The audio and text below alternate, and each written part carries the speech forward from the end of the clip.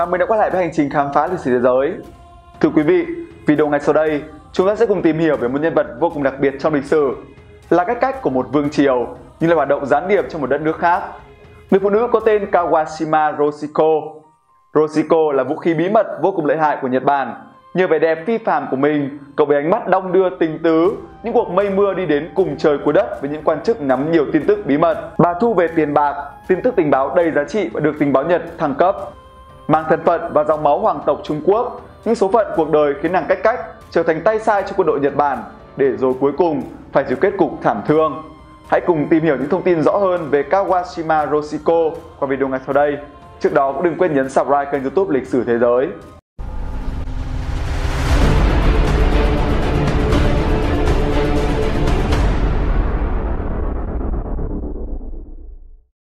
Những năm tháng đầu đời, Kawashima Yoshiko sinh năm 1907, tên thật là Ái Tân Giác La Hiển Dư, là con gái thứ 14 của Túc Thân Vương Thiện Kỳ cuối triều đại nhà Thanh.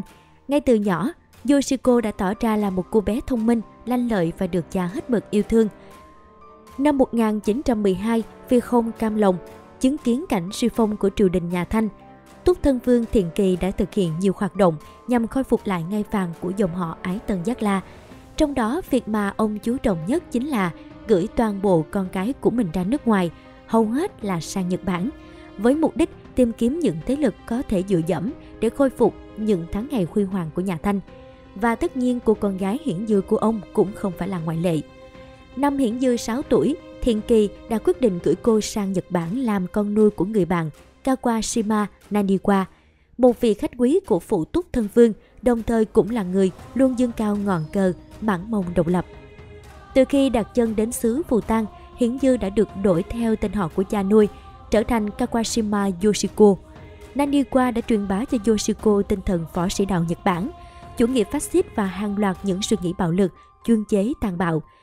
Vì vậy, chỉ vài năm sau đó, nàng cách cách được sinh ra và lớn lên trong những lễ giáo nghiêm khắc của triều đình nhà Thanh, bắt đầu biến thành một cô gái ngang ngược, ương bướng và hoang dại.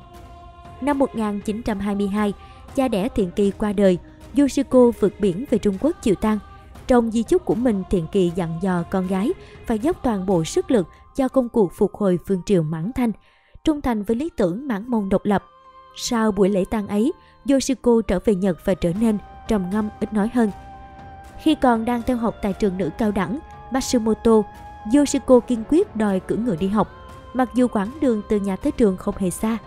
Đối với Yoshiko, Cưỡi ngựa không chỉ đơn thuần là để di chuyển, mà còn là một trò vui mỗi khi con ngựa của cô làm náo loạn khu vực sân trường. Có lúc, Yoshiko còn dắt ngựa vào trong phòng học, thậm chí buộc ngựa ở ngay trên bục giảng của thầy giáo, khiến cả lớp náo loạn. Bà đã học cả kendo và judo, những môn võ thuật nổi tiếng của Nhật Bản. Bà cũng dành nhiều thời gian để trao dồi kiến thức khoa học xã hội rộng lớn. Naniwa đã truyền bá cho Yoshiko tinh thần võ sĩ đạo Nhật Bản, chủ nghĩa phát xít và hàng loạt những suy nghĩ bạo lực chuyên chế.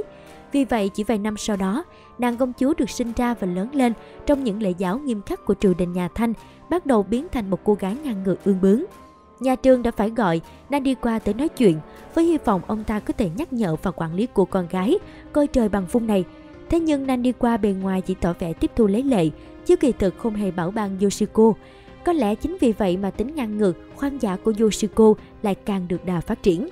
Năm 18 tuổi, Yoshiko đã trở thành một cô gái xinh đẹp, có khả năng thu hút mọi ánh nhìn của người khác phái. Đây không chỉ là khoảng thời gian Yoshiko gặp được mối tình đầu của mình là Moriyama, một lưu học sinh có ngoại hình khôi ngô tuấn tú và ngập tràn lý tưởng, mà còn là khoảng ký ức khủng khiếp đối với cô khi bị chính người cha nuôi hơn mình tới 42 tuổi cưỡng bức. Sau buổi đêm nhục nhã đó, Yoshiko nhiều lần muốn tự sát nhưng bất thành. Cô cũng từng muốn rời khỏi người cha nuôi thú tính, nhưng đến cuối cùng thì Yoshiko vẫn ở lại bên Naniwa. Cho đến sau này chưa từng có ai biết lý do tại sao Yoshiko lựa chọn ở lại với Naniwa. Điệp viên chơi Nhật phản Trung Hoa cũng kể từ đó Yoshiko thay đổi hẳn, cô cắt tóc ngắn bỏ hết những bộ trang phục nữ và chuyển sang mặc đồ Tây giống như đàn ông. Được sự dẫn dắt của Naniwa, Yoshiko nhanh chóng thành thạo tất cả các kỹ năng để trở thành một gián điệp. Cô đã học tiếng Anh, tiếng Nga, tiếng địa phương các vùng ở Trung Quốc Ngoài ra còn có bắn súng, lái xe, thậm chí là cả lái máy bay. Năm 1927, sau khi về nước, Yoshiko được gả cho Ganju Urachap, con trai của tướng quân nội Mông Chanchu Urap và theo chồng chuyển tới Mông Cổ sinh sống. Mặc dù vậy, cuộc hôn nhân nhuốm màu sắc chính trị này duy trì được 2 năm thì Yoshiko quyết định rời khỏi vùng thảo nguyên Mông Cổ để trở về Thượng Hải mà không một lời từ biệt. Lúc ly hôn, bà mới 22 tuổi. Tiếp đó, Yoshiko đã hợp tác với người Nhật để lấy thông tin tình báo từ phía quân Việt Bắc Dương. Cô nhanh chóng nắm được thông tin tối mật giúp cho quân đội Nhật tiêu diệt kẻ cầm đầu quân Việt Bắc Dương. Đối với Yoshiko, việc làm này vô cùng có ý nghĩa trong kế hoạch thực hiện di nguyện của cha mình. Thế nhưng, cô không hề biết rằng sự thật là cô không những chẳng khôi phục được triều Nhật Thanh mà còn giúp cho quân đội Nhật bành trướng thế lực hơn nữa. Và là cách cách triều Thanh dần lún sâu vào con đường làm gián điệp cho Nhật Bản, chống lại chính những người dân của đất nước mình. Chẳng bao lâu sau như một sự tất nhiên, Kawashima Yoshiko trở thành điệp viên làm việc cho Tanaka, được chính Tanaka đặt cho biệt danh Ngọc Phương Đông, Tuân Trân, Đông Trân năm 1931. Tướng Tanaka trao cho Kawashina Yoshiko 10.000 đô la tiền mặt và giao cho cô nhiệm vụ thuê các băng nhóm giang hồ, tội phạm người Hoa tổ chức các cuộc tấn công cướp phá các cơ sở kinh doanh của người Nhật tại Thượng Hải, nhằm tạo cớ cho quân đội Nhật tiến vào Thượng Hải để bảo vệ quyền lợi của người Nhật tại đây. Nhận lệnh, Kawashima Yoshiko cải trang thành một doanh nhân người Trung Hoa, dùng số tiền trên thuê được 12 băng nhóm tội phạm, tổ chức tấn công cướp phá các cơ sở kinh doanh của người Nhật, thậm chí còn đánh đập gây thương tích cho nhiều người Nhật.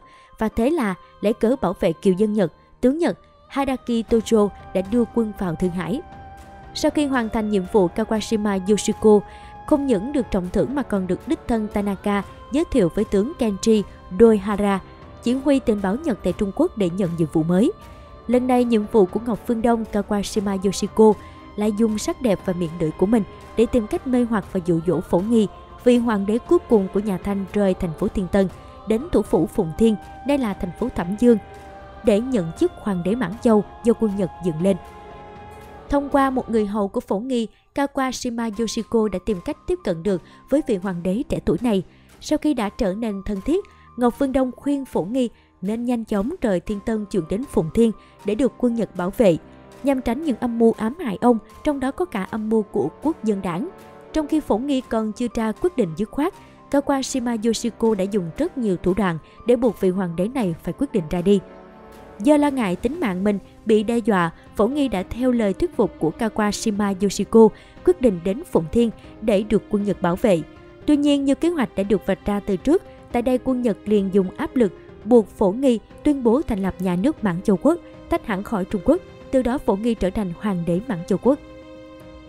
Điều vụ thuyết phục hoàng đế Phổ Nghi thành công, Kawashima Yoshiko được phong hàm tiểu tá tình báo Nhật Bản và trở thành người tình của tướng Hayao Tada, cố vấn quân sự bên cạnh hoàng đế Phổ Nghi. Trong thời gian hoạt động tại Phụng Thiên, Kawashima Yoshiko đã tổ chức được một đội quân đông đến trên dưới 5.000 người, gồm toàn những kẻ giang hồ trộm cướp để giúp cho tướng Hayao Tada ổn định trật tự xã hội tại thủ phủ Phụng Thiên.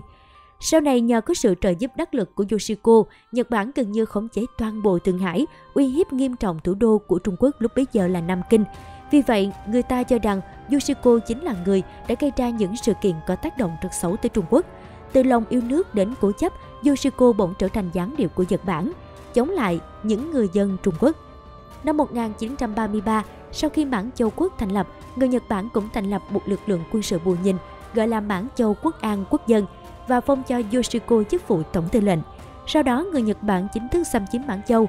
Họ vẫn tuyên bố sẽ đảm bảo sự độc lập của khu vực này với phần còn lại của Trung Quốc. Dưới sự ảnh hưởng của Yoshiko, họ đã thuyết phục Phổ Nghi trở thành hoàng đế bù nhìn của Mãn Châu Quốc năm 1934. Tuy nhiên, An quốc quân, kỷ luật yếu kém đã nhanh chóng tan rã và biến thành thổ phỉ, khiến cho Yoshiko thất vọng, bất mãn và nhiều lần lên tiếng chỉ trích chính sách quân đội Nhật. Vì vậy, đến năm 1934, Yoshiko bị người Nhật tống giam. Hai năm sau, Yoshiko được tha và trở về Thiên Tân, tiếp tục hoạt động gián điệp cho người Nhật. Trong suốt quãng thời gian sau đó, quân Nhật và lực lượng phát xít thắng thế trên toàn thế giới. Trung Quốc nằm dưới ách thống trị của người Nhật và thời kỳ tung hoành ngang dọc của cô cách cách làm gián điệp cho Nhật Bản cũng nhanh chóng chấm dứt. Năm 1937 khi quân Nhật chiếm được thành phố Bắc Kinh, Kawashima Yoshiko được tướng Kenji Doihara phái tới đây để tổ chức mạng lưới điệp viên nhằm gia thám hoạt động của các phe phái, cá nhân chống đối sự đô hộ của quân Nhật tại Trung Quốc. Chỉ trong vòng mấy tháng, Kawashima Yoshiko đã thành lập được một mạng lưới điệp báo đông đến 500 người để thâm nhập vào các tầng lớp xã hội, len lỏi và do thám tận các ngóc cách của thành phố Bắc Kinh. Trụ sở chỉ huy của Kawashima Yoshiko đặt tại một khách sạn sang trọng ngay tại trung tâm Bắc Kinh, là nơi lui tới của nhiều sĩ quan tình báo và các điệp viên người Hoa làm việc cho quốc dân đảng. Để có tiền chi phí cho mạng lưới điệp báo của mình, Kawashima Yoshiko lập một danh sách những người Hoa giàu có, lần lượt cho gọi họ đến đe dọa, buộc phải chu cấp tiền bạc nếu không muốn làm khó dễ cho công việc kinh doanh hoặc bị gán cho tội chống lại quân đội Nhật Bản. Biết đây là một nhân vật đặc biệt nguy hiểm, quốc dân đảng đã nhiều lần tổ chức các đội cảm tử ám sát Kawashima Yoshiko, nhưng họ chưa lần nào thành công vì nữ điệp viên này quá khôn ngoan, biết cải trang thành nhiều nhân vật, nhiều gương mặt khác nhau nên rất khó nhận dạng và tiếp cận. Kẻ phản bội bị trừng phạt Khi Thế chiến thứ hai kết thúc cũng là lúc Mãn Châu Quốc sụp đổ, nhà nước bị giải thể hoàn toàn. Yoshiko đã chạy trốn trong khoảng 2 tháng và có lẽ bà hy vọng sẽ sang được Nhật Bản, nơi bà có thể có được sự an toàn nhất định. Tuy nhiên, đến tháng 11 năm 1945, bà bị bắt ở Bắc Kinh và bị giam trong tù 2,5 năm. Những phiên tòa dài như vô tận đã diễn ra vào thời điểm đó. Có người biện hộ rằng với tư cách là một công dân Nhật Bản nhập tịch, Yoshiko không phải là một kẻ phản bội, mà là một tù nhân chiến tranh. Vì vậy, bà phải được đem ra xét xử ở tòa án quốc tế. Đáng tiếc những giấy tờ chứng minh quốc tịch Nhật Bản của Yoshiko là bị mất trong một trận động đất xảy ra tại Nhật. Cha nuôi của Yoshiko không những chẳng đưa ra được giấy tờ chứng minh cô có quốc tịch Nhật Bản, mà còn để lộ nguồn gốc của cô là con cháu của thân vương nhà Thanh. Chính vì vậy, ngày 22 tháng 10 năm 1947, Yoshiko đã bị tuyên án tử hình với tội danh phản quốc. Vì vậy, điều này đã không được công nhận và bà vẫn bị kết án tử hình như một kẻ phản quốc vào ngày 25 tháng 3 năm 1948. Yêu cầu cuối cùng của bà là được hành quyết riêng tư đã không được chấp nhận. Bà bị xử tử bằng một phát đạn và thi thể được treo tỳ chúng để cảnh báo những người giữ lòng trung thành với chế độ cũ. Thưa quý vị, cho đến nay, bà Yoshiko vẫn là một biểu tượng mạnh mẽ. Thậm chí có những tin đồn trong nhiều thập kỷ cho rằng thực chất bà vẫn còn sống và người phụ nữ bị xử tử là kẻ giả mạo. Hình ảnh điệp viên Nhật Bản không rõ nam hay nữ cũng trở thành một nét đặc trưng trong các bộ phim truyền hình Hồng Kông. Việc Yoshiko trung thành với Trung Quốc hay Nhật Bản vẫn là một câu hỏi không có lời giải. Có lẽ bà trung thành với Trung Quốc, nhưng bản thân chưa bao giờ thực sự nhận thức được rằng Thanh Triều đã kết thúc đế chế của mình ngay sau khi bà được sinh ra. Hoặc có lẽ Yoshiko trung thành với người đàn ông đã nuôi nấng bà và với đất nước bà đã lớn lên, mặc dù niềm tin của bà đã bị lợi dụng. Và cũng có thể bà chỉ trung thành với chính bản thân mình. Dù thật là cái gì thì tất cả cũng đã đi qua với cái chết của bà.